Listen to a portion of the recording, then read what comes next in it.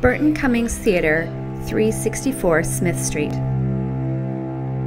The Walker Theatre, now known as Burton Cummings Theatre, was built between 1906 and 1907 by Corliss Powers Walker.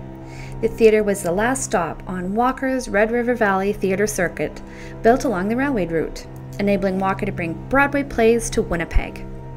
Aside from being used for theatre performances, the Walker Theatre was also used for labor and women's political suffrage rallies. This included one of Nellie McClung's mock parliaments, as well as one of the meetings that led to the Winnipeg General Strike. Staff of the Burton Cummings Theatre have reported hearing phantom crowds clapping and whispered voices emanating from empty rooms, as well as massive 200 pound steel doors that have moved on their own. These ghostly happenings are generally attributed to Laurence Irving and Mabel Hackney, a notable English acting couple.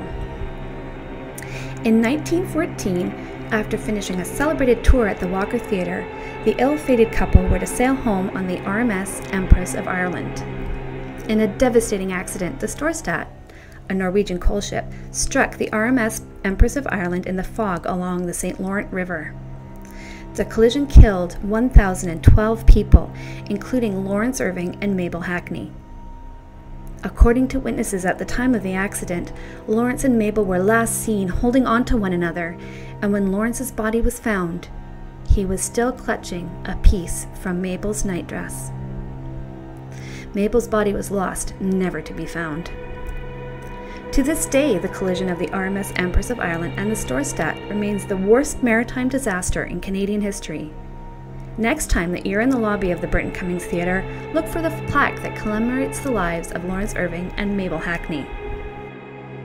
Before leaving Winnipeg, Laurence Irving told a Winnipeg Free Press reporter that he and Mabel would return. And it seems that, in spirit at least, they have.